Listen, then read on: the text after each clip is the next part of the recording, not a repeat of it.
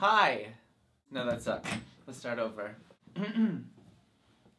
oh, hi. Did that work? No. Do you, can you see the hole in my crotch? Tits and up? Cooter and up? So I decided to do a video interview because nobody reads things anymore. As an intern at a music production company, I answered a Craigslist post, unpaid, every day, taking out garbage, running bitch errands, and scrubbing shit off toilets. A TV show wanted something sort of Trent Reznor, Nine Inch Nails, pop, and the producers knew that I liked that kind of music, so as a joke, they gave it to me and they're like, we'll see what, what you can do with this. And the producer that I was interning with went out for ice cream. And when she came back, I had the chorus for Save the Queen.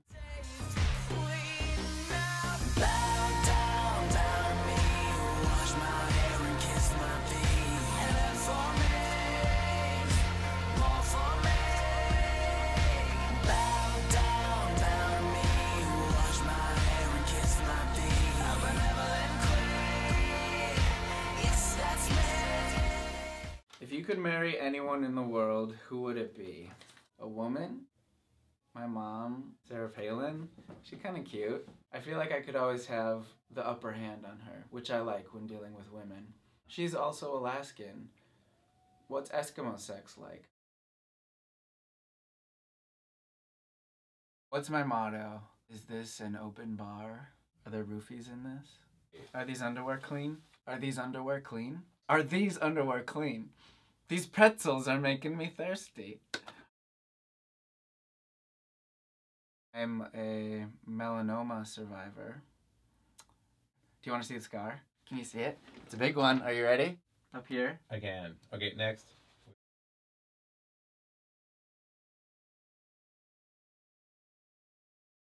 Rest in peace. Ya fucktard.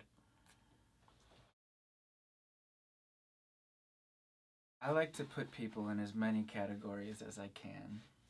I'm a gay artist. I think the fun in being put in that box is getting out of that box. It's more important the music that I make and the art that goes along with the music than who I'm sleeping with. Why do you care? I'm not going to tell you about it unless you ask, and if you're asking, why are you asking? Let's talk about that. You should only be asking me who I'm sleeping with if you want to sleep with me. That's fair, right? That people are gonna think I'm the male Lady Gaga? Isn't Lady Gaga male? My first name is Garrett.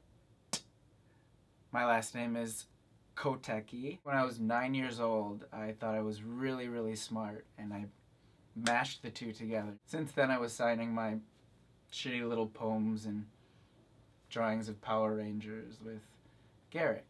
So, why do I have such a douchey name? It's because I was a douchey nine year old. I've always been a writer, stories, and then I started to write poems, and then the poems started to come with melodies, so I would write a song. It was just a, another form of writing that I wanted to try, and I wanted to get better at it, so I moved to New York to try to hone my skills a little bit, make my songs less shitty. Ha ha. Good luck. Buy it. Enjoy. Love it. What is this one? You tell me it's a surprise. So, Sorry. Uh, I have another question I'd like you to read as a surprise. Uh, you want me to read the yeah, I want you question? to read it. I can, in fact, read. What would your ideal woman be?